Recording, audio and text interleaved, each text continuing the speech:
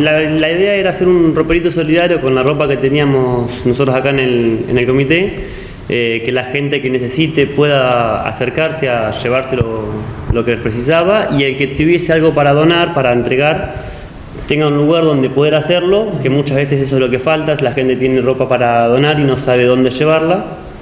Eh, así que bueno, tuvimos esta idea, eh, lo hicimos el sábado pasado, como vos bien dijiste, el sábado 22.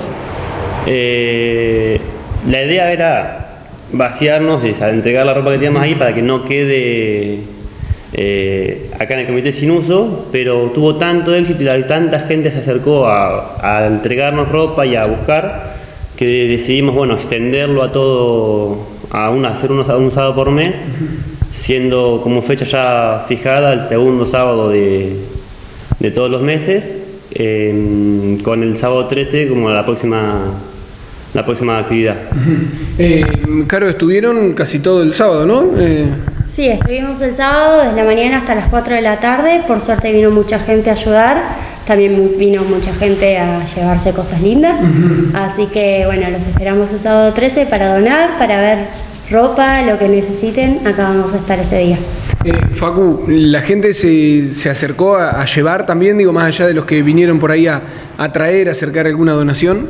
Sí, sí, por suerte tuvimos eh, de los dos, eh, hubo gente que traía y solamente traía ropa y gente que traía un poco y se llevaba otro poco, como gente que también directamente venía a buscar que necesitaba y listo.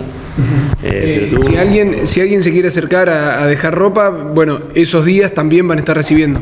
Claro, esos días y aparte vamos a estar recibiendo durante todo el, transcurso del mes, que se pueden contactar con nosotros por las redes y aparte en, en la publicidad hay un numerito de teléfono en el cual nos mandan un mensajito y nosotros nos estaríamos acercando hasta su domicilio a buscar la ropa que tengan.